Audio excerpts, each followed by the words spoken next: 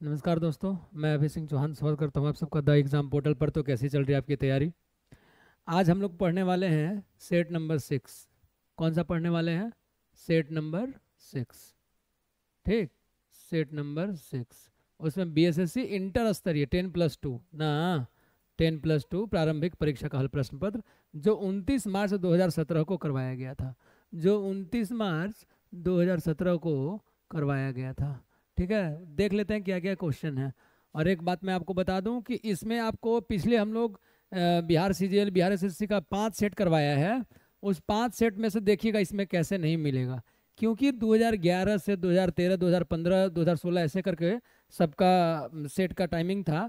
तो ये सेट का जो टाइमिंग है 2017 है तो मैं आप सबको बता देना चाहता हूँ मैं आप सबको बता देना चाहता हूँ कि ये जो है आपका मिलेगा। इससे पहले वाला जो सेट था, वो सब में मिलने वाला है, मिलने वाला है क्वेश्चन मिलेगा आपको। इसीलिए बोलता हूँ कि प्रीवियस ईयर करिए और पूरा वीडियो देखिए। और जो एक बात मैं अच्छे से क्लियर कर दे रहा हूँ कि इसमें वैसे क्वेश्चन जिनका पहले प्रीवियस में पूरा डिस्कशन करवा दिया है, उसको आंसर बता के आगे बढ़ूँगा। आपको पूरा प्रीवियस पीछे देखना पड़ेगा और वीडियो को एंड तक देखिए। वीडियो को एंड तक देखिएगा, तब आपको पता चलेगा कि वास्तविक में कैसे हो रहा है ये डिस्कशन ठीक है? और पसंद आए तो लाइक ज़रूर करना है कमेंट वीडियो के बारे में अपना प्रतिक्रिया दे सकते हैं आप लोग कमेंट करके। और नए चैनल पर अगर है आप तो सब्सक्राइब कर सकते हैं। और शेयर करिए अपने दोस्तों में, जितने टेन प्लस टू भरने वाले हैं। प्रीवियस ईयर फ्री में मिल जाएगा उनको, जहाँ बुक वगैरह उपलब्ध नहीं है। है ना? चलिए आगे बढ़ते हैं। देख लीजिए। पहला क्वेश्चन है कि नेशनल हेराल्ड समाचार पत्र किसने प्रारंभ किया था? तो वो किया था जवाहरलाल नेहरू ने। नेशनल हेराल्ड समाचार, और डिस्कवरी ऑफ़ इंडिया इन्होंने ही लिखा था। आपको बता दूँ, अब मोतीलाल नेहरू ने जो ये किया था, उसका नाम था इंडिपेंडेंट क्या नाम था? इंडिपेंडेंट ठीक यहाँ पर बिंदु कर दें इसको हटा दीजिए। इंडिपेंडेंट ठीक और आपको बता देते हैं कि कॉमनवेल्थ न्यू इंडिया ये है जो आपको एनी बेसेंट का है है ना? आ, एक काल नामक क्रांतिकारी पत्रिका होती थी जी काल नामक। ठीक क्रांतिकारी पत्रिका थी ये। आ, इसको किया था ये किसके द्वारा ये किया था? परांजपे परांजपे। कोई दिक्कत है इसमें किसी को? परांजपे सोम प्रकाश समाचार पत्र, ईश्वर चंद्र विद्यासागर। एक एक और आता था, शिशिर कुमार घोष के द्वारा लिखा हुआ। क्या था उसका नाम? बताइए। आम सोम प्रकाश तो बता दिए, ईश्वर ईश्वर चंद्र विद्यासागर। सोम प्रकाश, ईश्वर चंद्र विद्यासागर, ठीक। और एक है शिशिर कुमार घोष का, उसको ना, बोलते हम लोग अमृत बाज़ार पत्रिका। ठीक, अमृत बाज़ार पत्रिका। ये आपका लिखा हुआ है शिशिर कुमार घोष के द्वारा। ऐसे ही बताते हैं पूरा। आप लोग लास्ट तक देखिएगा तो पूरा मज़ा आएगा, ठीक? और ये वाला जो है, ये वाला किसके द्वारा है? ईश्वर चंद्र विद्यासागर। ईश्वर चंद विद्यासागर। पूरा लिखना पड़ेगा? लिख दिए, चलिए। ईश्वर चंद्र विद्यासागर, ठीक है? ईश्वर चंद्र विद्यासागर। और बताइए, कॉमरेड कॉमरेड कॉमरेड में मौलाना मोहम्मद अली, ठीक है? हम्म। अगला क्वेश्चन देख लीजिए क्वेश्चन नंबर दो मेगास्थनीज जो है, इसको आगे बढ़ जाते हैं। मेगास्थनीज जो है, आपको चंद्रगुप्त मौर्य के कार्यकाल में क्या था तो वो राजदूत था। किसका? सेल्यूकस निकेटर का। सेल्यूकस निकेटर का। और ये मेगास्थनीज के द्वारा एक पुस्तक लिखी गई थी इंडिका बहुत फ़ेमस है पुस्ती भी है। ये उस समय के चंद्रगुप्त मौर्य का जो शासन का काल था उसको आ, उसको वहाँ के प्रशासन के बारे में इसमें जानकारी मिलती है। पुस्तक इंडिका में किसमें जानकारी मिलती है? तो प्रशासन के बारे में जानकारी मिलती है। और इसने उसके जो समाज को है सात वर्गों में बांटा था। कितने वर्गों में बांटा था इस बुक में? सात वर्गों में बांटा था। क्लियर है? और ये पाटलिपुत्र राजधानी थी आप सबको पता है। तो पाटलिपुत्र का इसने नाम बोला था पाली ब्रोथा पाटलिपुत्र का नाम इसने दिया था पाली ब्रोथा आगे बढ़े। क्वेश्चन नंबर थर्ड देख लीजिए। गुरु गोविंद सिंह की शिक्षा कहाँ हुई और उन्होंने पर्शियन कहाँ सीखी? तो ये राइट आंसर होगा इसका पटना। गुरु गोविंद सिंह का जन्म कब हुआ था बताइए। गुरु गोविंद सिंह का जन्म कब हुआ था? बताइए। पटना। ठीक। गुरु गोविंद सिंह का जन्म कब हुआ था? पाँच जनवरी 1966 कब हुआ था? तीन नंबर क्वेश्चन देख लीजिए, गुरु गोविंद सिंह के। पाँच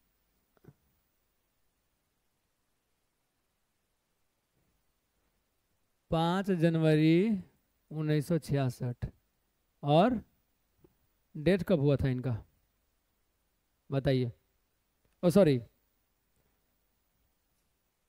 सोलह सौ छियासठ, ठीक। सोलह और इनका जो हुआ था, डेथ हुआ था, वो सत्रह सौ आठ में हुआ था। सत्रह सौ आठ में हुआ था। सत्रह सौ आठ में हुआ था, सात अक्टूबर। सत्रह सौ से सात अक्टूबर याद रखिएगा। ठीक, पाँच जनवरी को बर्थ। ठीक एज इन डेथ दसवें गुरु थे। पहले गुरु गुरु नानक थे। दूसरे अंगद देव, ऐसे करके। आगे बढ़े। अच्छा पटना साहिब में जो गुरुद्वारा का निर्माण करवाया गया, वो किसने करवाया था? तो महाराणा रंजीत सिंह। पटना साहिब गुरुद्वारा का निर्माण किसने करवाया था? महाराणा रंजीत सिंह। ठीक। सुकरचकिया चक वाले, सुकरचकिया ये वाले ना? उनका था। चलिए आगे बढ़ जाए अच्छा गुरु गोविंद सिंह ने ना सिखों के लिए पाँच का कार। और इन्होंने ही क्या कर दिया था कि गुरु ग्रंथ साहिब को गुरु पद प्रदान कर दिया था। पहले होता था कि गुरु, उनके बाद उनके गुरु, फिर रामदास के टाइम में हो गया था कि पुत्र को गुरु बनाया, दिया जाता था, सब पुत्र वाला हो गया था। जब गुरु गोविंद सिंह गुरु बने दसवें एवं अंतिम तो इन्होंने क्या कर दिया कि गुरु ग्रंथ साहिब को गुरु पद प्रदान कर दिया और पाँच का कार चलाया। पाँच का कार मतलब कड़ा, है ना, कंघा अच्छा ये सब करके पाँच का कार था। कृपाण, है ना? चलिए, आगे बताइए। अमजद अली खान किस यंत्र के लिए जाने जाते हैं भैया? तो सरोद। कोई दिक्कत है? रविशंकर प्रसाद सीताहार इनके साथ अलाउद्दीन खां, हाफिज खां विश्वजीत राय चौधरी, जरीन दारूवाला, ये सब भी सरोद सरोद। ठीक? अबैकस की खोज इस दौरान हुई। ग्रीक सभ्यता के दौरान हुई थी, जी। ग्रीक सभ्यता के दौरान हुई थी। अब अबैकस की खोज कब हुई थी? अबैकस की खोज कब हुई थी? ग्रीक सभ्यता के दौरान। ठीक है? ग्रीक सभ्यता के दौरान हुई थी। ठीक है? कब हुई थी? ग्रीक सभ्यता के दौरान। हम्म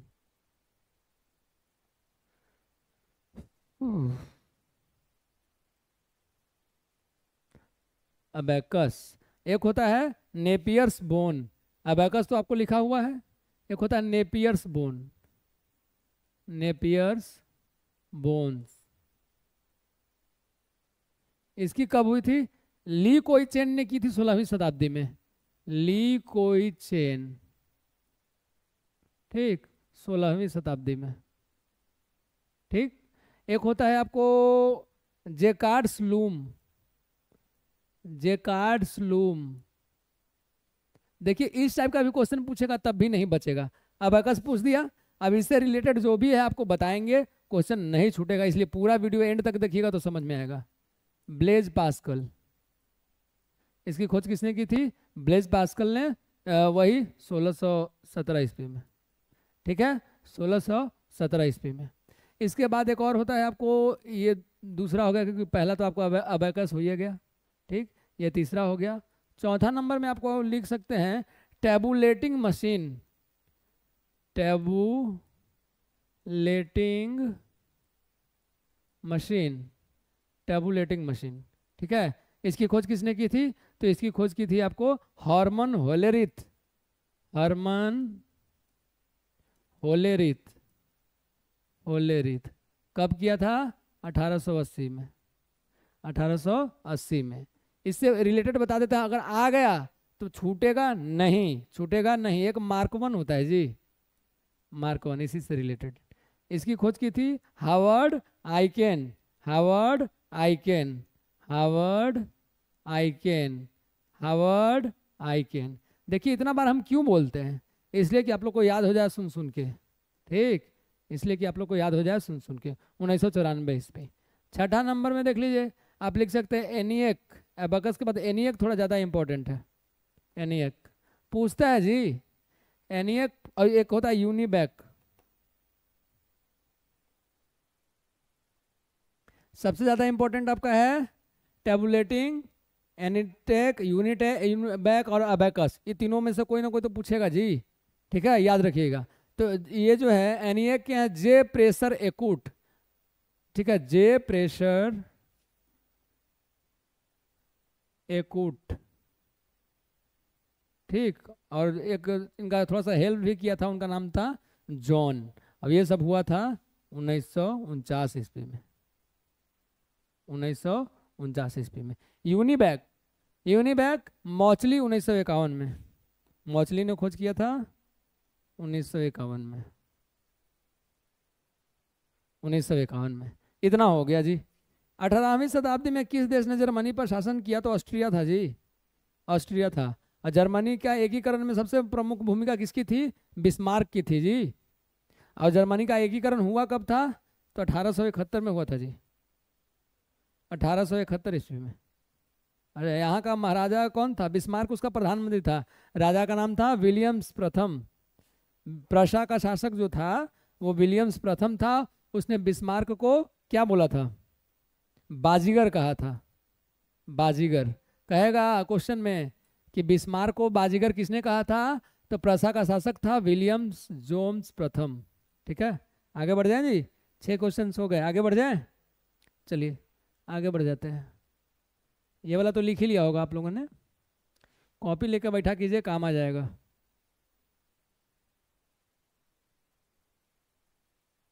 चलिए। सातवां क्वेश्चन कि भारत के दोनों लोकसभा और राज्यसभा में कोरम कोरम, या इसी को बोलते हैं गणपूर्ति। ठीक, एक बटा दस है जी। और ये बात कहाँ की गई है? आर्टिकल हंड्रेड में। आर्टिकल हंड्रेड का ये बात है जी। आर्टिकल हंड्रेड का ये बात है, गणपूर्ति और कोरम। ठीक, विधानसभा, विधानमंडल में भी यही है जी। लेकिन लेकिन आपको अगर पूछ देगा पंच वाला तो पंच वाला में सात को होगा, संख्या होता है सात, पंच में, पंचायत में। ठीक है, आगे बढ़ जाए जी। साप्ताहिक शार्ली एब्दो कहाँ से प्रकाशित किया जाता है? पेरिस से। साप्ताहिक शार्ली एब्दो कहाँ से प्रकाशित किया, पेरिस से। एच वन एन वन किसके द्वारा होता है? विषाणु वायरस। जीवाणु बैक्टीरियोलॉजी, विषाणु वायरोलॉजी, लिवेन हॉक उसके हैं, है ना? इसके कवक के माइकोलॉजी सवाल phycology H one N one क्या है, बता दीजिए जी। और दस परसेंट सदन में अगर उपस्थित नहीं रहेंगे तो कोई भी काम वाम नहीं होगा जी। ठीक है? अच्छा ये जो साप्ताहिक सारली है ना, इसमें क्या हुआ था कि आपको आतंकवादी लोग घुस के सात व्यक्तियों का हत्या किया था एक बार जी। डब्ल्यू एच ओ ने इसको इन्फ्लुएंजा, स्वाइन फ्लू को influenza, N one, swine flu का नाम है जी। अब एच फाइव, एन वन, बता दिए थे इसके बारे में, जाके प्रीवियस ईयर जो करवाया है, पीछे वाले सेट में देख लीजिए। ठीक है? एक जाना माना साहित्यिक समारोह कहाँ होता है? तो वो होता है जयपुर में। पिंक सिटी कहते हैं इसको जी। Pink city. उदयपुर को झीलों का शहर। झीलों का शहर। ठीक है, बहुत सुंदर जगह है उदयपुर। इटली भूल जाइएगा। बड़े बड़े लोग जाते हैं ना इटली घूमने, आप उदयपुर जाके देख लीजिए। ठीक है, गूगल पे फिर इटली देखिएगा। बहुत अच्छा शहर है उदयपुर। आगे बढ़ जाए? ये जो सात्विक समारोह जो होता है ना प्रति वर्ष होता है। प्रति वर्ष होता है। ठीक? और मत्स्य महाजनपद की राजधानी आप सबको पता होगा विराट नगर। विराट नगर थी। इसी विराट नगर को जयपुर कहा जाता है जी। इसी विराट नगर को जयपुर कहा जाता है। और राजस्थान की राजधानी है भजन लाल शर्मा मुख्यमंत्री है। राज्यपाल बता दीजिए कल राज मिश्र है क्या? राज्यपाल। अच्छा अब ये जो है आ, राजस्थान का पुराना नाम राजपुताना था, जी। जानना ज़रूरी है। बुद्ध से संबंधित अवसरों से जुड़े प्रतीकों में स्तूप इसका प्रतीक है स्तूप मृत्यु का है, जी। जन्म का है कमल। अच्छा कमल एवं सांड में लिखा होता है कहीं, नहीं? तो सांड से समझ आइए, यौवन या किशोरावस्था लिख दीजिए। यौनावस्था या किशोरावस्था भी लिख सकते हैं। ठीक, सांड के लिए। सांड के लिए। किशोरावस्था। बोलता ना घर पे, किसी आप लोगों से किसी ना किसी को तो सुना हुआ होगा मिला घर से। कि खा पी के खाली साढ़ नीन हो जा रहा है पढ़े लिखेला साढ़े बाईस। ठीक है? तो वही हाल है। वही, समझ जाइए, याद रखिएगा। ठीक? गृह त्याग, घोड़ा, है ना? ये सब। ठीक? गुप्त वंश का अंतिम शासक। आगे बढ़ जाए? दिखाई दे रहा है क्या? आधा दिखाई दे रहा है। चलिए, आगे बढ़ जाते हैं जी। और गृह त्याग को महाभिनिष्क्रमण भी कहा जाता है। मालूम है ना? चलिए जी, देख लीजिए। आ जाइए। गुप्त वंश का अंतिम शासक पूछ रहा है जी। विष्णुगुप्त होगा। गुप्त वंश का अंतिम शासक विष्णुगुप्त। इसको भानुगुप्त भी कहा जाता है। इसको भानुगुप्त भी कहा जाता है। ठीक है? और श्रीगुप्त जो थे, वो गुप्त वंश के संस्थापक थे। संस्थापक कौन? श्रीगुप्त। श्रीगुप्त। और वास्तविक संस्थापक पूछेगा तो कुमारगुप्त प्रथम। कुमारगुप्त प्रथम। किसी को दिक्कत है? अब महानतम शासक अगर इसका पूछेगा तो चंद्रगुप्त द्वितीय जिसको विक्रमादित्य भी बोला जाता था, है ना? सही बोल रहे हैं जी? अच्छा समुद्रगुप्त को भारत का नेपोलियन किसने कहा था? जब गुप्त गुप्त चलिए रहा तो बता दीजिए। समुद्रगुप्त को भारत का नेपोलियन। विंसेट स्मिथ, उसका नाम था विंसेट स्मिथ। Vincent Smith. ठीक है जी? विंसेट स्मिथ अगला क्वेश्चन है, किसने दाऊद को पटना व हाजीपुर से खदेड़ कर बाहर किया था? वो अकबर था जी। मुल्ला दाऊद का जो विद्रोह हुआ था ना, ये पंद्रह सौ चौहत्तर से छिहत्तर के बीच में हुआ था। अकबर ने इसको खदेड़ दिया था जी। ठीक, अकबर के दरबार में नौ रत्न रहते थे। पता है ना? अकबर के दरबार में नौ रत्न शिवाजी के अष्ट दिग्गज और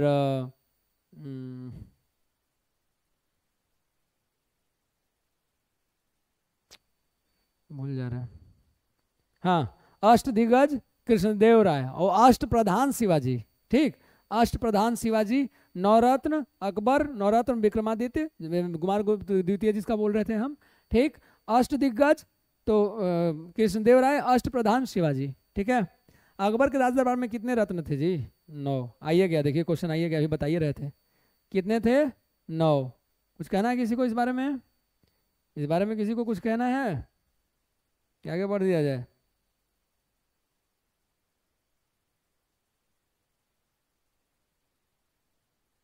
आइए, आगे देखते हैं। चौदह नंबर हो गया, आगे देख लेते हैं।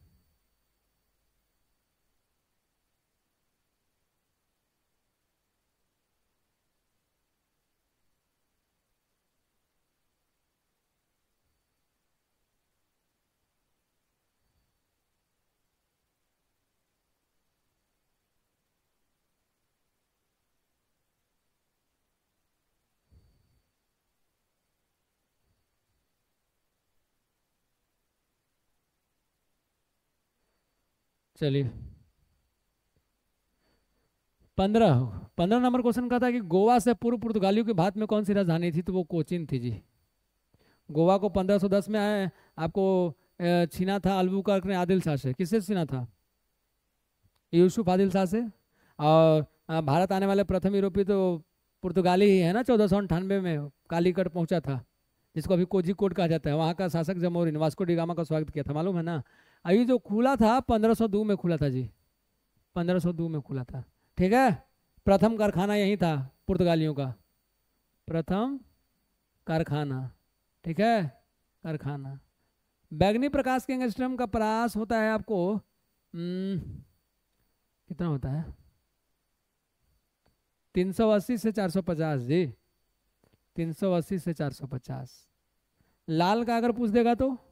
और नारंगी का, ये सब का पूछता है। 625 से 640 625 से 640 अगर है तो वो है लाल, इसका परास। और अगर नारंगी का बोला जाए तो 590 से 625 नारंगी, ठीक 590 से 625 ठीक है? चलिए, सबसे ज़्यादा लाल का हुआ। एक रोगी के शरीर के अंदर देखने के लिए क्या उपयोगी है? जी, प्रकाशिक तंतु। किसी को कुछ कहना है इसमें? प्रकाशिक तंतु से रोगी को जो है उसके आंतरिक भागों का परीक्षण किया जाता है जी। आंतरिक भागों का परीक्षण किया जाता है। अब प्रकाशीय तंतु जो है पूर्ण आंतरिक परिवर्तन के सिद्धांत पर कार्य करते हैं। मालूम है ना? अब प्रकाश जो है सीधा रेखा में गमन करता है प्र, तो प्र, लेकिन प्रकाश का पूर्ण आंतरिक परिवर्तन का उपयोग करके हम लोग इसको क्या कर सकते हैं? क्या कर सकते हैं? वक्रीय मार्ग में ला सकते हैं। उत्तरी गोलार्ध में सबसे लंबी रात्रि 22 दिसंबर को होता है। और सबसे लंबी दिन, हम लोग उत्तरी गोलार्ध में है, उत्तर पूर्व गोलार्ध में, और सबसे लंबा दिन पूछेगा तो इक्कीस जून। दिन रात बराबर तो इक्कीस मार्च, तेईस सितंबर, जिसको बसंत विश्व और शरद विश्व कहते हैं। आगे बढ़ सकते हैं क्या? उन्नीस नंबर, जी।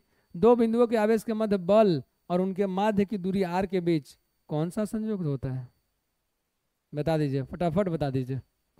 दो बिंदुओं के आवेश के बीच जो बल होता है और उनके बीच के माध्य दूरी आर के बीच, इसका होता है A proportional to r square A proportional to r square दिखाई दे रहा है। ये लिखा हुआ है ऑप्शन डी में। A proportional to r square ठीक है? इस बल को वैद्युत स्थैतिक बल भी बोला जाता है जी। और यह बल प्रकृति का सबसे मज़बूत बल है। दूसरा सबसे मज़बूत बल है। यह बल जो, विधुर स्थैतिक बल है, ये वाला जो दिखा रहा है। ठीक है?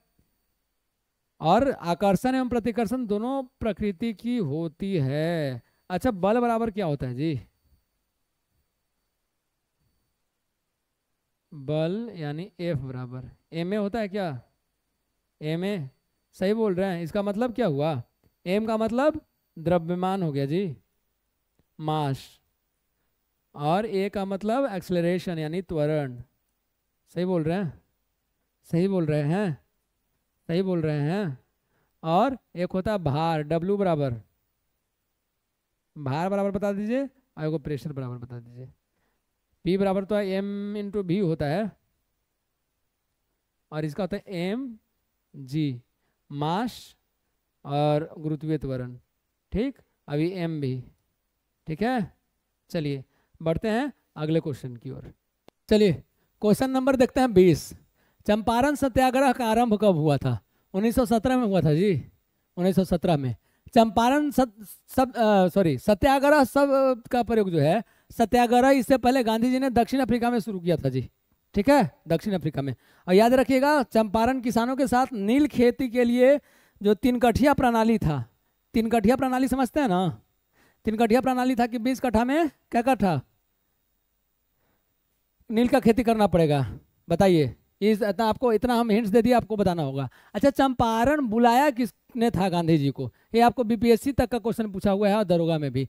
गांधी जी को चंपारण बुलाया था राजकुमार शुक्ल ने। किसने बुलाया था? राजकुमार शुक्ल ने। ठीक है? लिखेंगे नहीं, ऐसे ही बता दे रहे हैं। ठीक? ठीक है। चलिए। और बता दीजिए कि उत्तर प्रदेश का राजकीय फूल क्या है?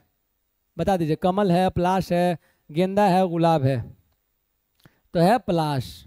बिहार का गेंदा है क्या? अच्छा भारत का तो कमल है, सबको पता है। भारत का जितना राष्ट्रीय चीज़ है, जो भी, सब पहले वाले वीडियो में लिखवा दिया है। एक से पाँच तक देखिएगा, आपको किसी न किसी में मिल जाएगा। सबका साइंटिफिक नेम किसी का भी पूछ देता है कि राष्ट्रीय पक्षी कौन है? या डायरेक्ट पाओ क्रिस्टेसस दे के पूछेगा कि, दे देगा कि इसमें राष्ट्रीय पक्षी कौन है? और सबका साइंटिफिक नेम दे देगा। तो कैसे बताइएगा? जब साइंटिफिक नेम आपको याद होगा, तबे ना तो फिर गड़बड़ा जाएगा काम। है ना? कहिएगा सर, देखिए ना, राष्ट्रीय पक्षी वाला गलत हो गया।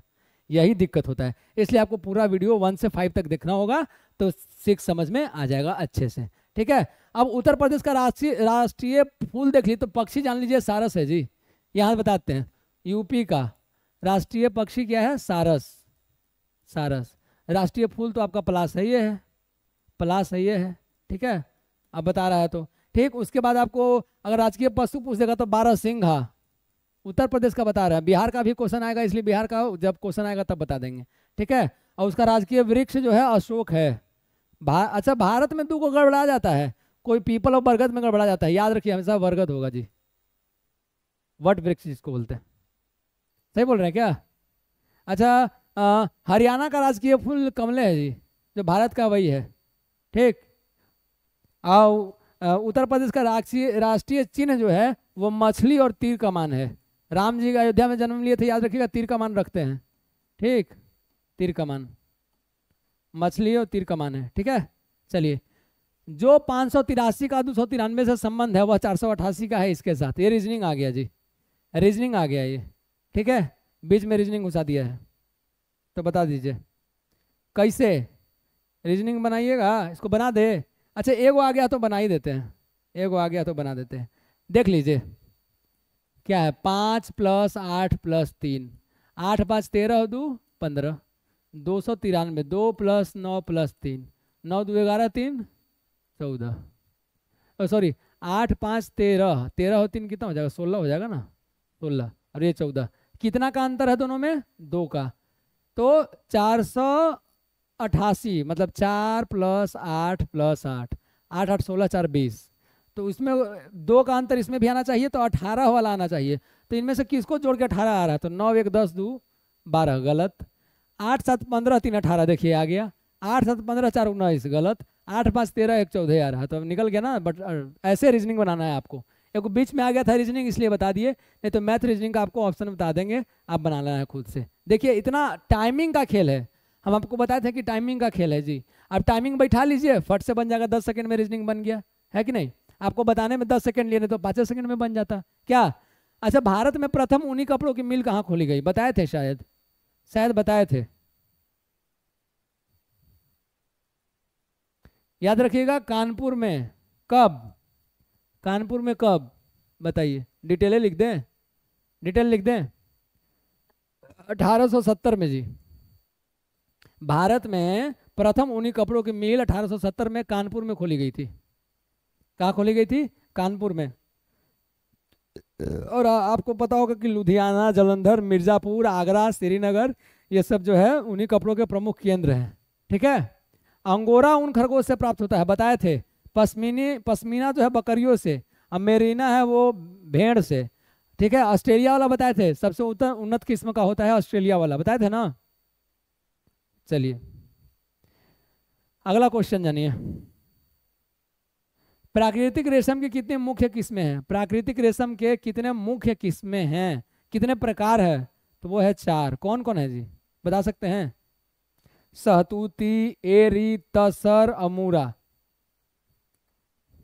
सहतूती, ठीक, ये किसका किस्म है? प्राकृतिक रेशम का। किसका है? प्राकृतिक रेशम का। ठीक हाँ रेशम का जन्म भूमि चीन है जी। आलू का जैसे मेक्सिको है ना मैक्सिको वैसी रेशम का चीन है। ठीक है रेशम का जन्मभूमि जो है वो चीन है। और इसका सहतूती है एरी है एरी है आपका तसर है और एक और है आ, क्या उसको बोलते हैं? मूँगा। मूँगा ये तो लोकल है इसको भूल जा रहे हैं। मूँगा। ठीक ये चार किस्म का रेशम होता है। जालिया वाला बाग कहाँ पर है जी? अमृतसर में। तेरह अप्रैल उन्नीस सौ उन्नीस। सैफुद्दीन सतपाल और सैफुद्दीन किचली का गिरफ्तारी हुआ था जी। उसी के विरोध में यहाँ पर चल रहा था। और वहाँ पर क्या था? बैसाख था। क्या था? बताइए। अच्छा जालियावाला बाग जाला नाम के सरदार था। जब ठीक है? याद रखिएगा। ठीक है?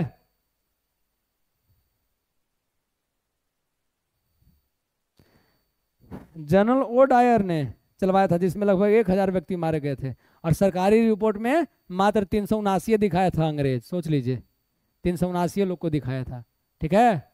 और कांग्रेस ने इस पर पंडित मदन मोहन मालवीय की अध्यक्षता में समिति बनाई थी। उसने बताया था कि जी नहीं, इतना आप सरकार गलत इसमें ये दे रहे हैं। और इसी में रविन्द्रनाथ ठाकुर ने, आपको गांधी जी ने और गांधी जी ने इसी के विरोध में 1920 में असहयोग आंदोलन चलाए थे, जो कि 5 फरवरी 1922 में जो वहाँ जला दिया गया था थाना ठीक है? चौरा चौरी कांड में, उसी में वापस ले लिए थे, याद है ना? और असहयोग आंदोलन शुरू होने टाइम था लॉर्ड चेम्सफोर्ड और ख़त्म होने के टाइम पे कौन था? लॉर्ड रीडिंग पहला यहूदी वायसराय एकमात्र था लॉर्ड रीडिंग जिसका टाइमिंग था 1921 से 1926 सही बोल रहे हैं? आगे बढ़ जाए? चलिए, पीछे का एक में करवाया हुआ, इसलिए फटाफट बोल दिए। आप जाके देख सकते हैं। तमिलनाडु में पाई जाने वाली मुख्य जनजाति बताइए जी इरुला चांग गारो खोंड। बता दीजिए। फटाक से बताइए। तो ये है इरुला जनजाति पर एक ट्रिक बढ़िया बनाएँगे, पूरा जनजाति बता देंगे। हो सकता है उस पर छोटा टॉपिक है, हम भी बता सकते हैं, या सर भी बता सकते हैं, छोटा छोटा टॉपिक ठीक है? चलिए। तमिलनाडु में होता है टोडा, कुरुम्बा, बड़ागा। इसके अलावा टोडा, कुरुम्बा, बड़ागा, और एक आपका इरुला दिया हुआ है इरुला दीवा। है अब केरल का कड्डार और पुलियान अलग है, बाकी सब, ये सब भी है। लेकिन केरल में कड्डार और पुलियान। ठीक पुलियान। ठीक चलिए। आगे बढ़ जाए। देख लीजिए एक और जनजाति है जारवा जनजाति। चलिए ऊपर बढ़ा देते हैं ना पहले देखिए हाँ। कह कि भारत की सर्वप्रथम वन्य जीव संरक्षण जो है भारत का सर्वप्रथम वन्य जीव संरक्षण क्या है? आ, जारवा जनजाति और अट्ठाईस नंबर क्वेश्चन। दोनों पढ़िए और बताइए। जारवा जनजाति और अट्ठाईस नंबर क्वेश्चन, दोनों बताइए। जारवा जनजाति जो है, कहाँ गया? अंडमान। अंडमान। अब भारत की सर्वप्रथम वन्य जीव संरक्षण क्या होगा? हंगुल। हंगुल। टाइगर, उन्नीस सौ तिहत्तर में टाइगर टाइगर प्रोजेक्ट। राइनो गिर, सब याद रखिएगा। अंडमान, जारवा जनजाति जो है, अंडमान में है जी। निकोबार में सेंटिनेल जनजाति पाई जाती है, निकोबार में, सेंटिमेन। ठीक है? भारत में लगभग साढ़े पाँच सौ मतलब पाँच सौ पचास जनजातियाँ पाई जाती है जी। 2011 के जनगणना के अनुसार अगर देखा जाए तो आठ दशमलव चौदह पर, एक चार परसेंट, आठ दशमलव एक चार परसेंट जनजाति है जी, निवास करती है अपने देश में।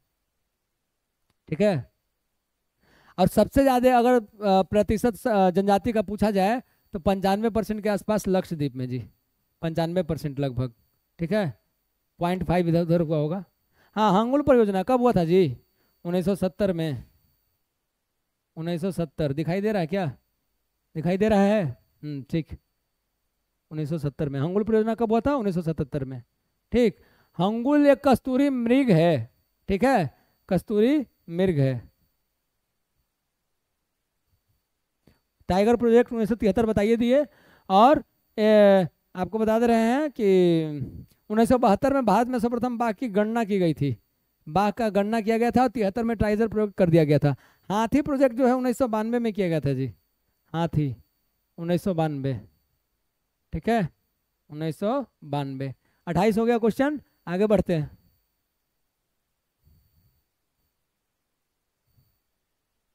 ये देख लीजिए, आ गया। सेट नंबर फाइव में ही बताए थे। पिछले सेट का क्वेश्चन है जी। नीति आयोग का प्रारंभ कब हुआ? उसमें पूछा था, नीति आयोग का उपाध्यक्ष कौन था उस टाइम जब बना था। तो बताए थे, उसी टाइम बताए थे कि प्रारंभ कब हुआ था? तो जनवरी 2015 कब हुआ था? जनवरी 2015 और एक जनवरी 2015 को नीति आयोग की स्थापना की गई। और इसको 15 मार्च 1950 का जो योजना आयोग हुआ था, उसके जगह पर किया गया था। ठीक है? हाँ। ठीक है? और आपको, क्योंकि 2014 में 15 अगस्त 2014 में बोला गया था, नीति आयोग के प्रधानमंत्री होते हैं अध्यक्ष, ठीक है? और अभी शायद राजीव कुमार हैं, इसके जो है उपाध्यक्ष, ठीक? पौनार आश्रम के संस्थापक, विनोबा भावे, बाबा आमटे अन्ना हजारे। विनोबा भावे। विनोबा भावे। ये किसी आंदोलन के जनक भी माने जाते हैं, जी। किसी आंदोलन के जनक भी माने जाते हैं। उसका नाम है भूदान। भूदान आंदोलन। सही बोल रहे हैं क्या? भूदान आंदोलन। क्या था भूदान आंदोलन? बताइए तो। इनके गुरु कौन थे जी? इनके गुरु कौन थे? महात्मा गांधी। महात्मा गांधी। ठीक है? महात्मा गांधी। अच्छा एक बात और। महात्मा गांधी के राजनीतिक गुरु जी के गोखले, गोपाल कृष्ण गोखले। अब इनके राजनीतिक गुरु एम जी रानाडे मतलब महागोविंद रानाडे ठीक है? महागोविंद रानाडे है ना? चलिए रानाडे ठीक है? चलिए, और बताइए। चलिए। बाबा आमटे, ये प्रसिद्ध थे कुष्ठ रोगी के उपचारक के लिए, उपचार करने के लिए, ठीक? कुष्ठ रोगी के उपचार करने के लिए ये थे, ये वाला आपका पूरा क्लियर हो गया। अमना हजारे जो गांधी वांधी चिंतक है, जानते ही है, बाबा रामदेव तो योग सभ्यता के लिए जाने जाते हैं, सब लोग को पता है है ना? जम्मू और कश्मीर की शासकीय भाषा कौन सी है? हिंदी, डोगरी, उर्दू, पंजाबी। तो ये है उर्दू। बिहार की प्रथम भाषा हिंदी, और द्वितीय उर्दू। भारत में सबसे ज़्यादा बोली जाने वाली भाषा हिंदी। सेकेंड नंबर पे बंगला। थर्ड वाला आप लोग बताइए तो जरा। ठीक है, मराठी है, कौन है? थर्ड पे कौन है? जी, बताइए तो। मराठी नहीं होगा, कुछ और होगा। चलिए। और डोगरी भी जम्मू कश्मीर की ही भाषा याद रखिएगा, है ना? कोई दिक्कत है? लेकिन शासकीय भाषा वहाँ की जो है, वो उर्दू है। अब संविधान की धारा तीन सौ तैतालीस ए के अनुसार। तीन सौ तैतालीस ए। क्या है? राजकीय भाषा हिंदी, देवनागरी लिपि। लिपि देवनागरी। राजकीय भाषा, राजभाषा। राष्ट्रभाषा नहीं है भारत का। राष्ट्रभाषा है ही नहीं, कोई भी। राज्य भाषा है। राज्य भाषा और राष्ट्रभाषा में अंतर है जी। राजभाषा हिंदी और लिपि देवनागरी। ठीक है, यही बता रहे थे जी। ठीक है जी? जापान की संसद कहलाती है। इसके अलावा हम कुछ नहीं बताएँगे। आंसर बताइए। बताया हुआ है। रियाल किस देश की मुद्रा है, ये भी बताए थे। बता दीजिए आप लोग। जापान की संसद, डायट। जाके सीट नंबर फोर में देख लीजिए जी, या थ्री में। बताया हुआ है सबका। रूस का बताया है ड्यूमा, नेपाल का राष्ट्रीय प्रशांत इसराइल का नेसेट, आपको नॉर्वे का स्टर्लिंग हाँ आयरलैंड का डेल आयरन हाँ मंगोलिया का डेनमार्क का फुलकेट टीम, पोलैंड का सोजिम हाँ दूसरा दूसरा का बताया चलिए, उससे अलग का कुछ दो चार को बता देते हैं, क्योंकि हम बताए थे आपको अमेरिका का, पाकिस्तान का, अफ़गानिस्तान का, उसके बाद नेपाल का, फिर आपको बताए थे चाइना का, ये सब का आपको बताए थे, है ना? ये सब का आपको बताए थे। चलिए चलिए। ठीक। Okay okay. हो गया, चलो। ठीक। स्पेन का देख लीजिए, ये नहीं बताए थे। स्पेन का। देश, संसद। संसद। ठीक स्पेन है जी। स्पेन स्पेन का कोर्टेस। कोर्टेस। ठीक है? और उसके बाद देश में आ जाइए रूस, ड्यूमा। रूस ड्यूमा ठीक है? मुद्रा बता दिए थे सबका, ठीक? नेपाल तो बता दिए थे इसराइल नहीं बताए थे। इसराइल इसका है नेसेट। चांस है कि इसराइली वाला पूछेगा एकदम, ज़्यादा चांस है, ठीक? नार्वे अस्टर्लिंग नार्वे अस्टर्लिंग अस्टर्लिंग ठीक है? उसके बाद आप देख सकते हैं आयरलैंड। आयरलैंड, ठीक? इसका है डेल आयरन। Dail Eireann. ठीक है? Dail Eireann. उसके बाद आप लोग लिख सकते हैं डेनमार्क का। डेनमार्क का लिख सकते हैं। फोलकेटिंग। फोलकेटिंग। फोलकेटिंग। सही से लिख दें? ये देखिए, ऐसे लिख रहे हैं। फोलकेटिंग। ठीक है? फोलकेटिंग। ठीक है? चलिए, आगे बढ़ते हैं। रियाल किस देश की मुद्रा है जी? सऊदी अरब, बताए थे। इसको कर लीजिए एक बार। इतना में मुद्रा भी बता देते हैं।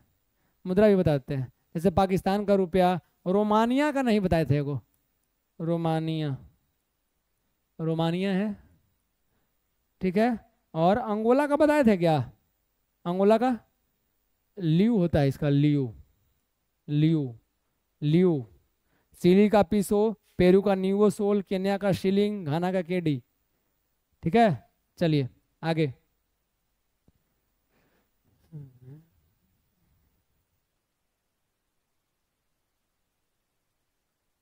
भारतीय झंडे में चक्र का रंग कैसा है जी? नीला चौबीस को है चक, तिल्ली उस चक्र में।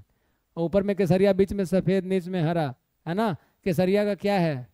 शौर्य त्याग क्या है? और सफ़ेद का क्या है? और हरा का क्या है बताइए। वंदे मातरम का अंग्रेज़ी में अनुवाद किसने किया था जी?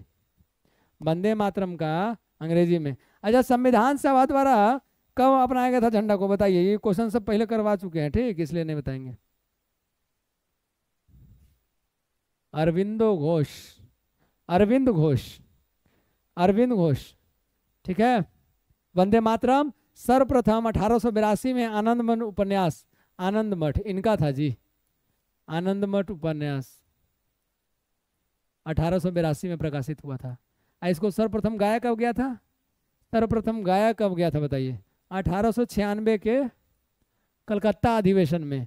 रहमतुल्ला सियानी, उस समय रहमतुल्ला सयानी, उसके अध्यक्ष थे जी। और राष्ट्रीय गान कब गाया गया था? 1911 में कलकत्ता अधिवेशन में जी। वो भी अधिवेशन कलकत्ता का ही था। तो एक कॉमन हो गया कि दोनों राष्ट्रीय गान और राष्ट्रीय गीत कलकत्ता अधिवेशन में गाए गए थे। इनका अध्यक्ष आप लोग बता दीजिए। ये वो हम बताए होगा आप गाइए। एक चैत्र प्रायः पड़ जाता है किस दिन? एक अप्रैल को। बताइए तो कब पड़ जाता है? कब? 22 मार्च। कब? 22 मार्च। ठीक है, एक चैत्र प्राय कब पड़ जाता है? 22 मार्च को। चैत्र फ़र्स्ट, चैत्र का पहला तारीख। अब चैत्र के बारे में बता दिए हैं, कैसे कैसे क्या होता है। और राष्ट्रीय पंचांग कब लागू हुआ, किस पर चलता है, सख सम्मत बता दिए हैं।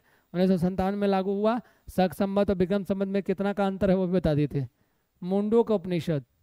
सत्यमेव जयते कहाँ से लिया गया? मुंडो का उपनिषद। और वो नचिकेता यम संवाद कठोपनिषद, है ना? सत्यमेव जयते भारत का राष्ट्रीय वाक्य है। उपनिषद दर्शन विषय से संबंधित है। पुराण अठारह है। उपनिषद 108 है। वेद चार है। वेदांग छः है। शिक्षा कंद, छंद आपको ज्योतिष व्याकरण ये सब करके, है ना? रामायण वाल्मीकि द्वारा लिखी गई थी। ठीक है? चलिए, आगे बढ़ जाए। 2016 में गतिमान एक्सप्रेस की आजमाइशी यात्रा दिल्ली और इस शहर के मध्य की गई थी। पुणे, चंडीगढ़, आगरा, ग्वालियर। आगरा में किया गया था जी।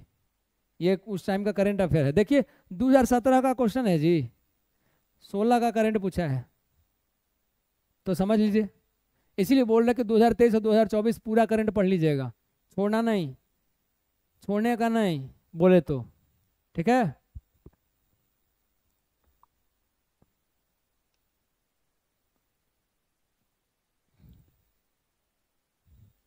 ठीक है? बढ़िया से जॉब लेके जाइएगा तब। घर पे आपको जादू की झप्पी मिलेगी। चलिए। किसका उपनाम द वॉल है? किसका है भैया? The wall. लगता था कि तीन फीट का बैट है उनके पास। द राहुल द्रविड। 2024 में इंडियन विजेता टीम के कोच भी रहे हैं ये टी ट्वेंटी के। Master blaster Sachin Tendulkar.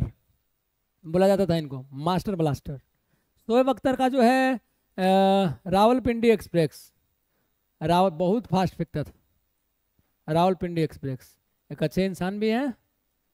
Kapil Dev को क्या है? हरियाणा हरिकेन कपिल देव को क्या बोला जाता है? बताइए। हरियाणा हरिकेन अच्छा इंडियन एक्सप्रेस किसको बोलते थे? Indian express Leander Paes bowler मत को सोच लीजिएगा। लियंडर पेस को Indian express Dhing express Dhing express Hima Das और टाटा नगर एक्सप्रेस वरुण अरुण फ्लाइंग सिख के नाम से मिल्खा सिंह। और little master little master Sunil Gavaskar. Turbanator Harbhajan Singh Turbanator Turbanator Turbanator ए बूंदा बूंदा कर दिया देख लीजिए। ये देखिए इसको। ठीक है आगे बढ़ते हैं। रेड क्रॉस का मुख्यालय कहाँ है जी? स्विट्जरलैंड रेड क्रॉस बताइए। प्रतिवर्ष जो है आ, कब मनाया जाता है? विश्व रेड क्रॉस दिवस?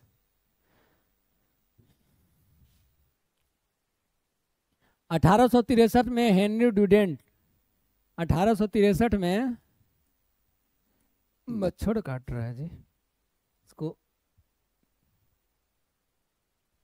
हेनरी ड्यूवेंट हेनरी ड्यूवेंट ठीक, आठ मई को इनका जन्म दिवस है, आठ मई को इनका जन्म दिवस है, आठ मई को इनका जन्म दिवस है, उसी दिन विश्व रेड क्रॉस दिवस मनाया जाता है। किसी को कोई दिक्कत है? हेनरी ड्यूनेंट हेनरी ड्यूनेंट ठीक है नाम है इनका। ड्यूनेंट देखिए ड्यूनेंट ठीक है, आधा न भी है। ठीक, आनंद मठ के लेखक, अब ये बताए हैं ऊपरे। इसके बाद बारे में ज़्यादा कुछ नहीं बताएँगे। द ओडोसिटी ऑफ़ होप किसने लिखी है, बता दीजिए। द ओडिसिटी ऑफ़ होप किसने लिखी है, बता दीजिए। अच्छा बंकिम चंद्र जी ने और बहुत सारा पुस्तक लिखे थे। दुर्गेश नंदिनी, देवी चौकी रानी, विश्व वृक्ष मृगालिनी ठीक है, ये सब याद रखिएगा। सीताराम, देवी चौधरी रानी कपाल कुंडला दुर्गेश नंदिनी, मृणालिनी, ये सब, ठीक है? बताइए जी, द सिटी ऑफ़ होप किसने लिखी है? लिखना पड़ेगा क्या नाम? ओबामा। किसने लिखी है? ओबामा। किसने लिखी है? ओबामा। और अमेरिका के प्रथम असवेत राष्ट्रपति थे। अमेरिका के प्रथम असवेत राष्ट्रपति। मालूम है ना बराक ओबामा? चलिए।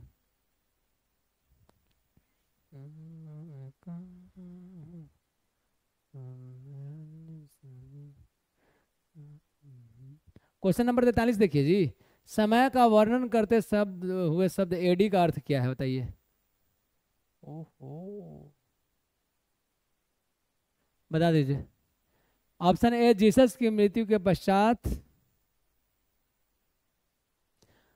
Anno Domini after होरियंस age dark. Anno domini anno domini और ईसा के जन्म से पूर्व को बीसी कहते हैं। बीसी का पूरा नाम है बिफोर क्राइस्ट। बीसी, ईसा के पहले, बिफोर क्राइस्ट। Before Christ. ठीक। शहीद दिवस कब मनाया जाता है? जी, तीस जनवरी। तीस जनवरी। क्यों? तीस जनवरी उन्नीस को महात्मा गांधी की हत्या नाथुराम गोडसे के द्वारा कर दी गई थी। ठीक है? इनके द्वारा एक पुस्तक भी शायद लिखा गया था कि मैंने गांधी को क्यों मारा, ऐसा करके कुछ पुस्तक भी था। हाँ? बताइए। इसमें और ये तो सबको याद होगा ये कोई नहीं भूलेगा। टीचर थक जाएगा बोलते बोलते कि भूल जा भूल जा भूल जा, लेकिन काहेला भूलना है। वहाँ तो खाली गुलाब के फूल याद रहेगा। क्या? Valentine day? वैलेंटाइन डे कब मनाया जाता है? चौदह फरवरी को। और क्या है? तीस जून दे दिया गया है ना? उनतीस जून को विश्व शरणार्थी दिवस। पाँच फरवरी को कुछ मनाया जाता तो बता दीजिए। सॉरी उनतीस जून को उल्टा बोला गया। सांख्यिकी दिवस। अब बीस जून को विश्व शरणार्थी दिवस। बीस जून, विश्व शरणार्थी दिवस। शरणार्थी दिवस, ठीक है? विश्व शरणार्थी दिवस, ठीक है? विश्व शरणार्थी दिवस।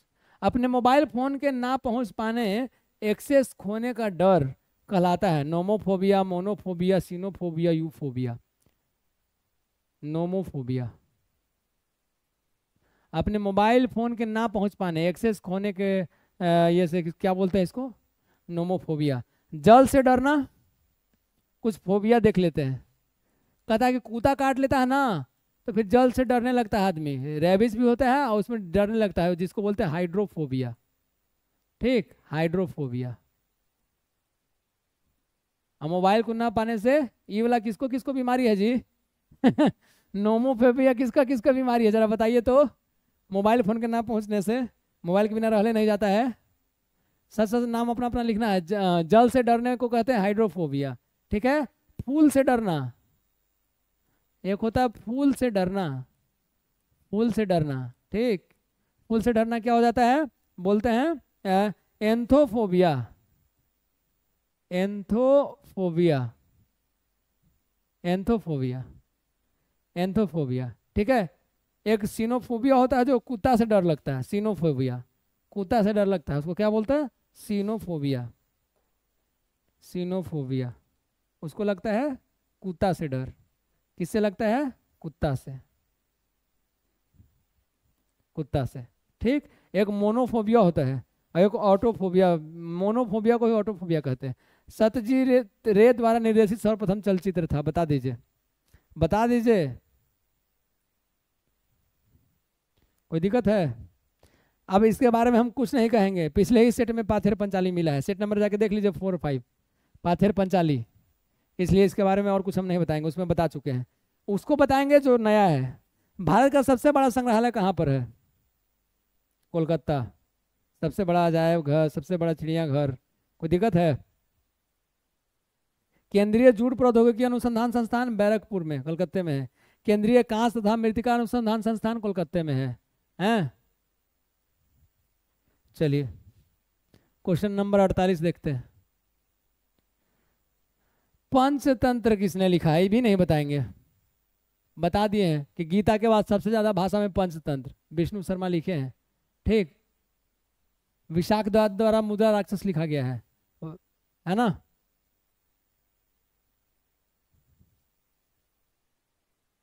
ठीक।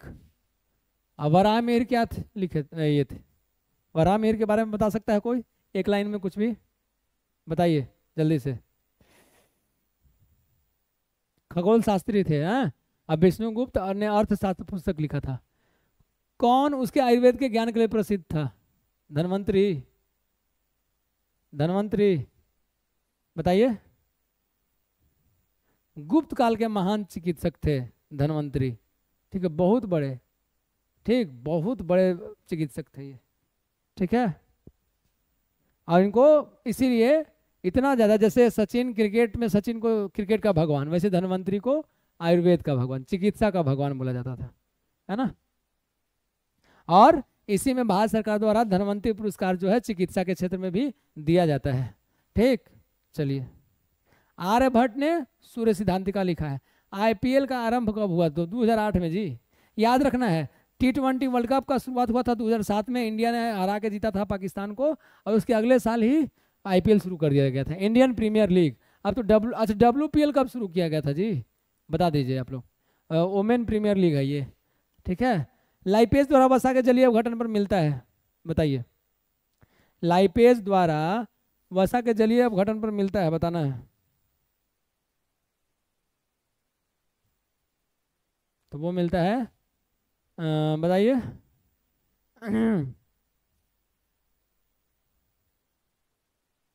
वसीय अम्ल और गिल्सरॉल। इसमें किसी को कुछ बोलना है? एक ग्राम वसा में हाँ, अगर नौ दशमलव तीन किलो कैलोरी ऊर्जा उत्पन्न होती है याद रखिएगा एक ग्राम वसा में एक ग्राम वसा में नौ दशमलव तीन ऊर्जा उत्पन्न होती है। नौ दशमलव तीन किलो कैलोरी। और सामान्यतः वयस्क व्यक्ति को 20 से 30 परसेंट ऊर्जा वसा से प्राप्त होना चाहिए, वयस्क व्यक्ति जो है। अच्छा शहरी आदमी को कितना इक्कीस सौ चाहिए और गाँव के चौबीस सौ, सही बोल रहे हैं क्या? बताइए।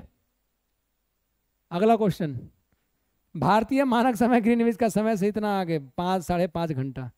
उस समय पूछा था, कहाँ से होकर गुजरती है?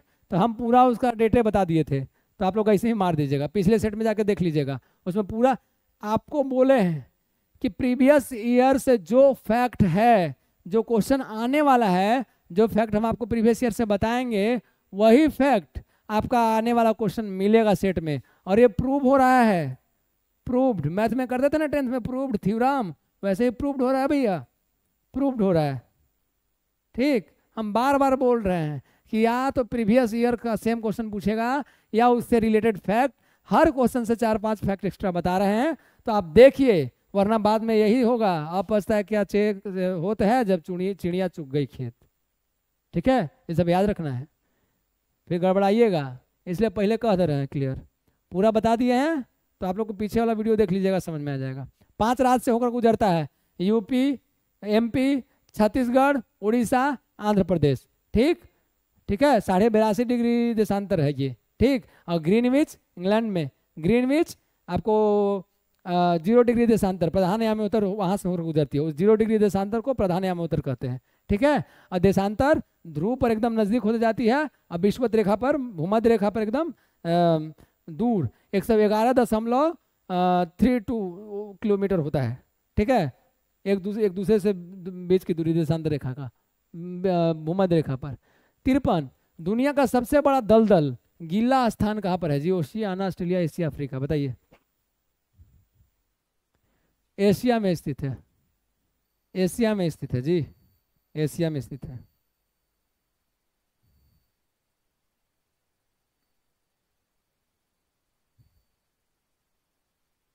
इसका नाम है प्रीपेट दलदल।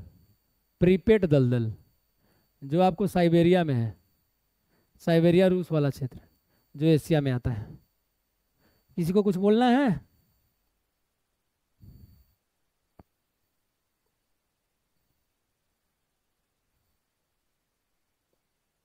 आर्द्र भूमि इसी पर ले लेते हैं।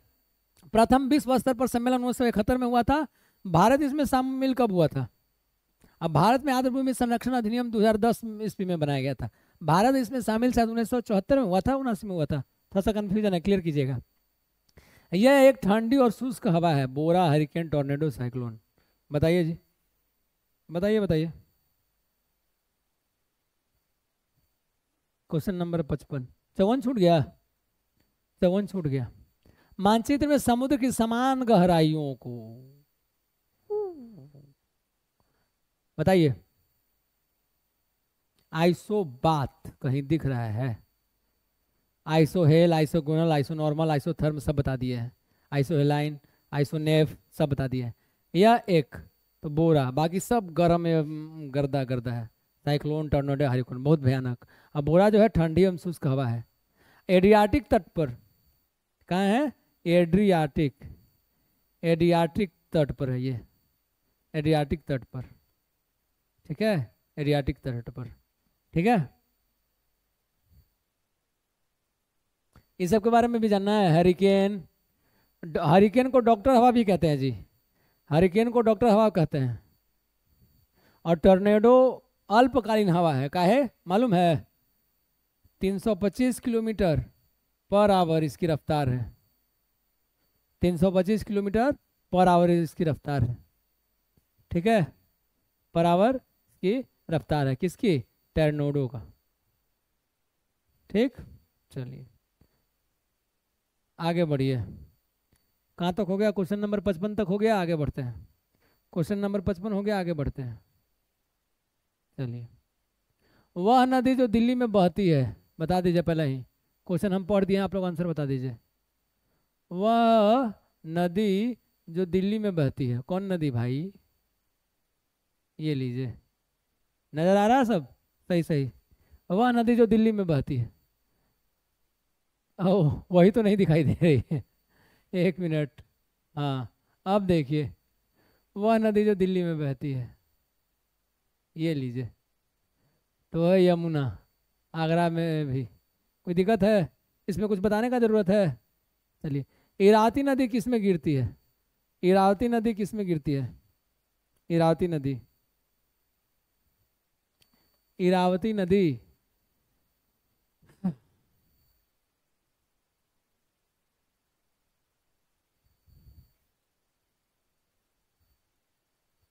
और कुछ जान लीजिए, नील किसमें गुजरती है? कुछ देख लेते हैं। तो भूमध्य सागर में।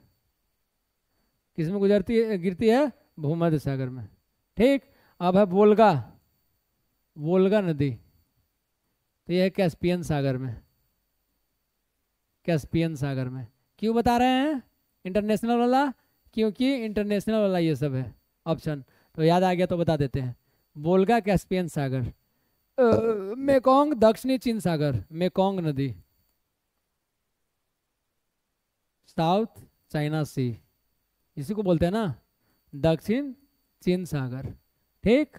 चलिए, ऑप्शन में है अमेजन तो उसको ले लेते हैं काला छोड़े। अमेजन कहाँ? एगो तो बता दीजिए एगो तो बता दीजिए, अटलांटिक महासागर में जी। अटलांटिक महासागर में। व्यापारिक दृष्टि से सबसे बड़ी नदी अमेजन, और ऐसे सबसे लंबी नदी चीन। सही बोल रहे हैं क्या? नाइजर नाइजर नदी कहाँ गिरती है? नाइजर नदी। नाइजर है और उसके बाद आप लोग लीना लिख सकते हैं वो। जहाँ से पूछा जा सकता है वो बता रहे हैं। या आप लोग मैकेंजी भी लिख सकते हैं। मैकेंजी। मैकेंजी। नील तो बताइए दिए ना भूमध सागर। ठीक। नाइजर नदी। गिन्नी की खाड़ी में। गिन्नी की खाड़ी में। नाइजर नदी गिन्नी की खाड़ी में जी। गिन्नी की खाड़ी में। और लीना लीना, लाटेन सागर में, लाटेव लाटेव सागर है एक उसमें, लाटेव सागर में। मैकेंजी का को आप लोग बता दीजिए, ब्यूपोर्ट सागर बोलते हैं उसको, ब्यूपोर्ट सागर।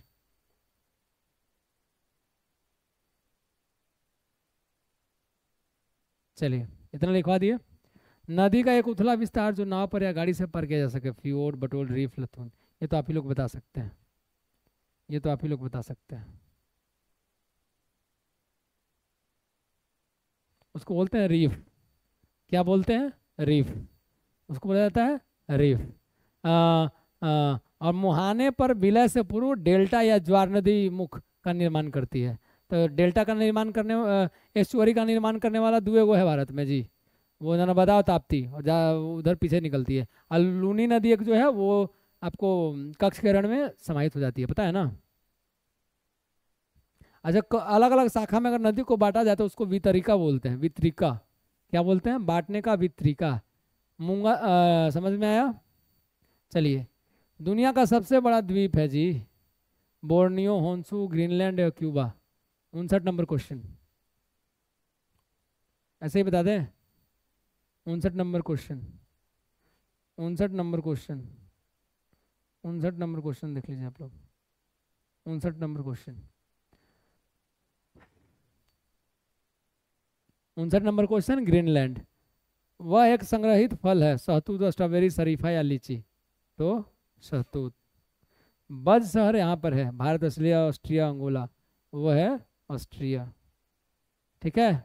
अब दुनिया का सबसे बड़ा द्वीप है ग्रीनलैंड। कुछ बोलिए, इसका विस्तार इक्कीस लाख पचहत्तर हज़ार किलोमीटर। किलोमीटर स्क्वायर कर दीजिए मतलब वर्ग किलोमीटर किलोमीटर वर्ग किलोमीटर। ठीक है? सबसे बड़ा। ठीक है? हाँ। आर्कटिक और अंटार्कटिक महासागर में अवस्थित है। ठीक है? याद रखिएगा। और बोर्नियो द्वीप जो है, हिंद महासागर में है। हिंद महासागर में। होन्सू कहाँ है जी? होन्सू को बता दीजिए। अच्छा इसका इसका अगर कर रहे हैं तो सात लाख इक्यावन हज़ार। सात लाख इक्यावन हज़ार। और होन्सू का अगर जोड़ लीजिएगा आप तो दो लाख सत्ताईस हज़ार के आसपास है। शायद ज़ीरो, सात, दो। ऐसा ही है। ठीक है? और क्यूबा द्वीप छूट रहा है। क्यूबा द्वीप। क्यूबा द्वीप कहाँ है बताइए? कैरेबियन सागर में, एक लाख दस हज़ार के आसपास। कैरेबियन सागर में। कैरेबियन सागर। एक लाख दस हज़ार के आसपास, लगभग दस हज़ार समथिंग इसका, किलोमीटर स्क्वायर है। चारों का देख लीजिए। चारों को बता दिए। ठीक है? चारों को बता दिए। ग्रीनलैंड विश्व दुनिया का सबसे बड़ा द्वीप है ग्रीनलैंड, इक्कीस लाख पचहत्तर हज़ार वर्ग किलोमीटर। फिर यहाँ देख लीजिए, क्यूबा का बता दिए, फिर उसके बाद सेकेंड वाला जो आ रहा है, वो दिखा रहा है बोर्ड बोर्डनियो सात लाख इक्यावन हज़ार। ठीक, ये गिरता है हिंद महासागर में। होन्सू जो है, गिरना नहीं मतलब अवस्थित है। होन्सू जो है, ये दो लाख सत्ताईस हज़ार। और क्यूबा है जो एक लाख दस हज़ार। बद शहर कहाँ है? ऑस्ट्रिया में है, बद शहर। ऑस्ट्रिया की राजधानी वियना है, और मुद्रा इसका यूरो है, यूरो। ठीक। भारत की राजधानी दिल्ली है, मुद्रा रुपया। ऑस्ट्रेलिया की राजधानी कैनबरा है? मुद्रा क्या बताइए। आगे बढ़ जाते हैं। इकसठ तक हो गया। हाँ ये देख लीजिए। साइंस। मात्रा u t plus one by two a t square चिन्ह का अर्थ सामान्य है। इसका आयाम बताना है जी। क्या बताना है? आयाम। अच्छा सहतूत एक क्वेश्चन था। बताया था कि सबसे संग्रथित फल जो है वो सतूत है।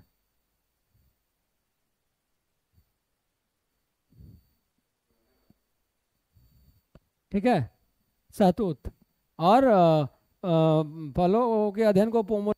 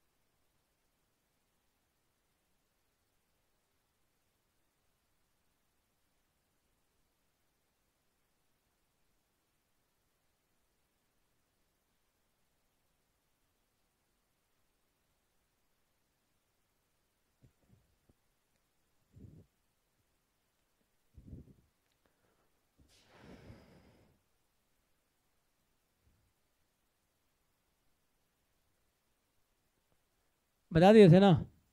क्वेश्चन नंबर बताना था बासठ। क्वेश्चन नंबर बताना था बासठ। ठीक है? क्वेश्चन नंबर बताना था बासठ। देख लीजिए। U t plus one by two a t square चिन्हों का अर्थ समान है। इसका आयाम होगा एल ओह। इसका आयाम जो होगा, वो होगा एल क्या होगा? एल इसका आयाम जो होगा, वो होगा एल ठीक है? वो होगा एल कैसे होगा एल देख लीजिए। और आपको है कुछ कुछ वो भी बता दिया जाएगा। साखीय भौतिकी के नियम इन कणों पर लागू होते हैं। साखीय भौतिकी रहेगा तो दस के पावर माइनस छः और दस के पावर माइनस अगर नौ रहता तब क्या करते क्वांटम भौतिकी उसको बोलते क्या बोलते क्वांटम भौतिकी। क्या बोलते क्वांटम भौतिकी। एक कार का पहिया जो सड़क पर चल रहा है, रोलिंग घर्षण, तत्पश्चात उसके स्थैतिक घर्षण, उसके बाद काइनेटिक घर्षण। ठीक है? बिल्कुल सही है। बिल्कुल सही है। ठीक है? सबसे कम किसमें, ध्वनि का जो अध्ययन क्या इकोस्टिक्स बोलते हैं ना उसको और सबसे कम जो बल लगता है वो लोटनिक घर्षण में लगता है जी। लोटनिक घर्षण में। किसी को कुछ बोलना है? और ध्वनि की चाल में, याद रखिएगा ध्वनि एक माध्यम से दूसरे माध्यम में जाती है तो ध्वनि का चाल और तरंग दर बदलता है। आवृत्ति वही रहती है। और ये जो है ध्वनि कैसा तरंग है? बताइए।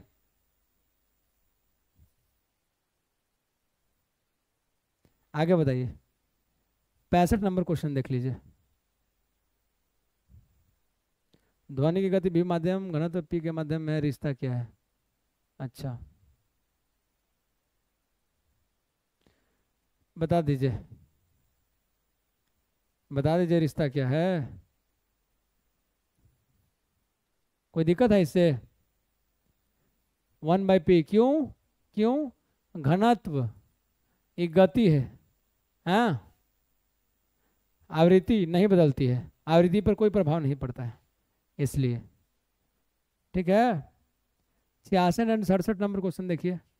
गुरु नानक का जन्म कहाँ हुआ था? तलवंडी। कहाँ है तलवंडी जी? कब हुआ था? गुरु गोविंद का भी पूछ दिया है, गुरु नानक का भी। सिख धर्म के संस्थापक भी कहिए, प्रथम गुरु भी कहिए। क्या?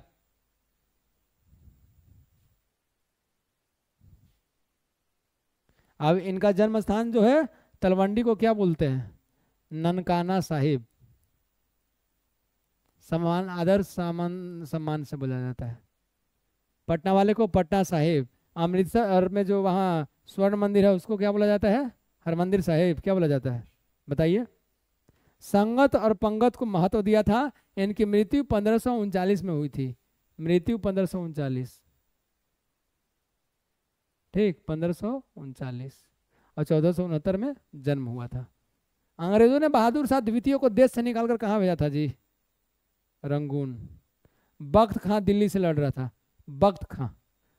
ठीक, बहादुर शाह द्वितीय अंतिम मुगल शासक था। इसका, मालूम है ना? ठीक है? चलिए।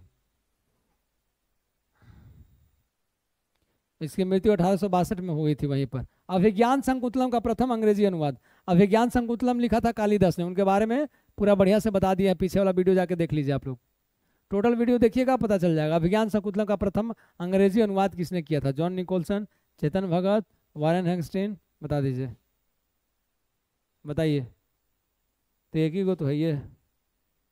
चेतन भगत का टू स्टेट्स हाँ हाफ़ गर्लफ्रेंड ये सब। ठीक है? हाँ।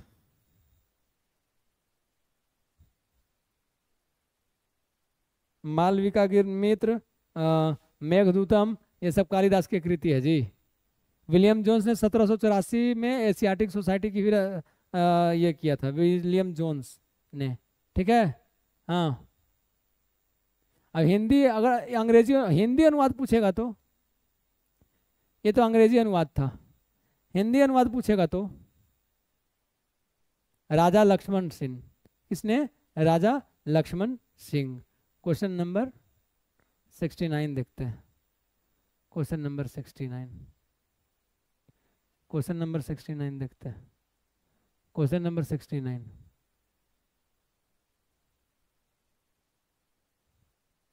अंग्रेज़ों के भारत में राज्यकाल में आखिर से एक पूर्व वायसराय कौन था? अच्छा बताइए। माउंट बेटन वेवेल, इरविन या कौन? वेवेल। आखिर से एक पूर्व, आखिर, अगर पूछता राजकाल में आखिर में कौन था, तब माउंट बेटन होता। लेकिन आखिर से एक पूर्व कह रहा तो वेवेल है। किसी को कोई दिक्कत है जो उन्नीस से सैतालीस तक रहा था? 1943 से सैतालीस तक। कोई दिक्कत है? बताइए। इसी का काल में शिमला समझौता हुआ था। दोनों के बीच में कर देते। तैतालीस टू पैंतालीस, अब सैतालीस में से दो घटा दीजिएगा तो। याद रखिएगा। ठीक? और कुछ? चलिए। बताइए। एक लौह चुंबकीय पदार्थ के लिए, उसकी चुंबकीय सुग्रहता के लिए यह सत्य है कि कम, अधिक, ऋणात्मक, सीधे से ज़्यादा तापमान। अधिक एक लौह चुंबकीय पदार्थ के लिए, उसकी चुंबकीय सुग्राह्यता के लिए कौन सा सत्य बात है? तो अधिक होगी। एक लौह चुंबकीय पदार्थ के लिए उसकी चुंबकीय सुग्राह्यता जो है, वो अधिक होती है। और प्राकृतिक चुंबक एफ़ थ्री ओ फोर पूछता है फॉर्मूला प्राकृतिक चुंबक का। F E three O four प्राकृतिक चुंबक। इसका फॉर्मूला है जी। ठीक है? जब प्रकाश दूसरे माध्यम के अंदर जाता है तो उसकी आवृत्ति में परिवर्तन आता है। आ, बिल्कुल नहीं अभी हम बोले थे। आवृत्ति किसी भी हाल में नहीं बदलती है। किसी भी हाल में नहीं बदलती है। और प्रकाश किसी भी माध्यम में गमन कर सकता है। अलग अलग माध्यम में अलग अलग इसकी जो है चाल होती है। अलग अलग चाल होती है। ठीक? अलग अलग चाल होती है। चलिए बहत्तर नंबर क्वेश्चन। ओ दो संख्या, एक्स, वाई का H C F, L C M क्रमशः इतना है, एक्स, वाई का मान क्या होगा? यही तो है। एक्स, वाई का मान क्या होगा? बताइए। बताइए। इसका फॉर्मूला अब यहाँ से देख लीजिए, मैथ्स आ गया जी। मैथ्स आ गया। मैथ और रीजनिंग। ठीक। बताना कैसे बता देते हैं। इसका ये देख लीजिए। इसका अगर पूछ रहा है ना तो हम लोग को पता है कि पहली संख्या दुगुने यहाँ देख लीजिए। एक को बता देते हैं, उसके बाद आपको बता देंगे।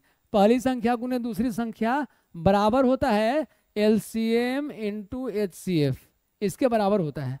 तो पहली और दूसरी संख्या एक्स वाई दिया हुआ है जी। एल सी एम गुने एच सी एफ़ चार गुने अड़तालीस कर देते हैं।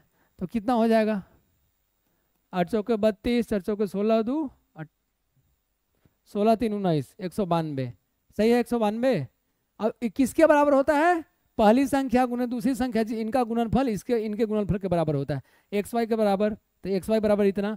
मतलब कि इनका भी क्या हो गया? एक्स वाई का मान दोनों का पूछ रहा है। एक सौ बानवे हो गया। ऐसे तो बनाना है।